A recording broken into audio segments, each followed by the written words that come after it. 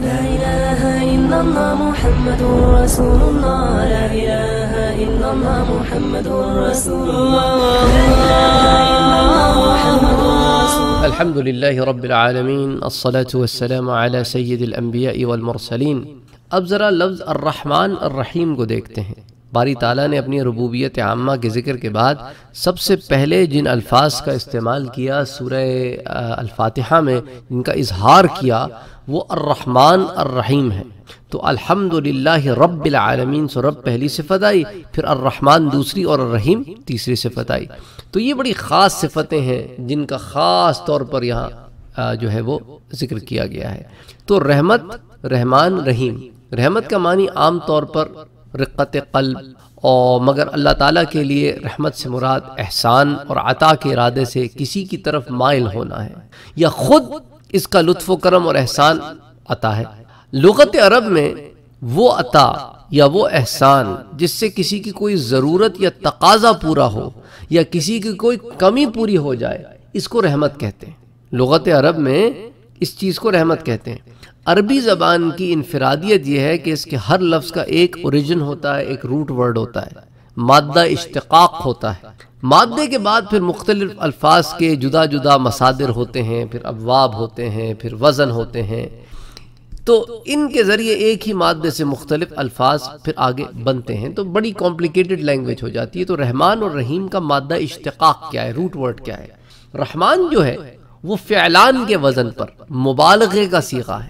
اور رحیم فعیل کے وزن پر صفت شبہ کا۔ دونوں اوزان کی خصوصیات، دونوں الفاظ کے وزن کی خصوصیت میں فرق یہ ہے کہ فعلان یعنی رحمان کا وزن جو ہے، وہ کثرت، شدت اور جوش و خروش پر دلالت کرتا ہے۔ جبکہ فعیل جو رحیم ہے، اس کا وزن تسلسل، دوام اور پائیداری پر۔ تو رحمان میں کثرت، شدت کا عنصر ہے اور رحیم میں تسلسل کا فار ایور لانگ لاسٹنگ یہ عنصر ہے لہذا رحمان کا مفہوم یہ ہوا کہ رب العالمین وہ ہے جس کی ذات میں رحمت اس قدر کثرت اور شدت کے ساتھ موجود ہے، بلکہ جوش و خروش کے ساتھ موجزن ہے کہ کوئی اور ہستی اس کا مقابلہ نہیں کر سکتی۔ اور الرحیم کا مفہوم یہ ہے کہ اس کی رحمت میں فقط جوش ہی جوش نہیں، بلکہ تسلسل اور پائیداری بھی ہے۔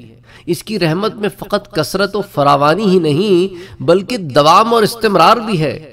اس کی رحمت میں فقط شدت ہی نہیں، بلکہ تجریج و استقلال بھی ہے۔ وہ ذات ایسی نہیں کہ اس نے اپنی رحمانیت کے جوش میں کائنات کو تخلیق تو کر دیا، مگر اس کی دیکھ بھال اور ضروریات کی کفالت و نگہداشت کے خیال نہ رکھا، معاذ اللہ۔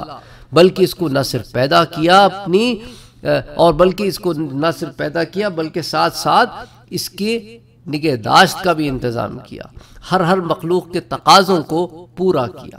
اس کی رحمت کے تسلسل کا یہ عالم ہے کہ وہ اس دنیا کے خاتمے کے ساتھ ہی ختم نہیں ہو جائے گی، بلکہ اس کی اطاعت شعار بندوں کے لیے زندہ دوبارہ زندہ ہونے کے بعد عالم آخرت میں بھی اس کی رحمت کا سایہ ان پہ رہے گا اور اس کی رحیمیت کے طفیل وہ جنتوں میں جائیں گے اور وہاں ہمیشہ رہیں گے۔ تو الرحمن اور الرحیم کے ضمن میں تفصیلاً تو ہم پہلے بسم اللہ الرحمن الرحیم کی جب ہم نے تفسیر کی تھی، تو اس میں الرحمن اور الرحیم پر وہاں پر ہم تفصیل میں بات کر چکے ہیں۔ اب کیونکہ الرحمن اور رحیم دوبارہ ہم ڈسکس کر رہے ہیں، اس لیے مختصراً پھر یہاں پر اس کو ایک دفعہ پھر جمع کر دیا۔ ہمارے چینل کو سبسکرائب کرنا نہ بھولیں اور بیل کے آئیکن پر کلک کریں تاکہ آپ کو ریگولر نوٹیفیکیشن اپڈیٹس مل سکیں۔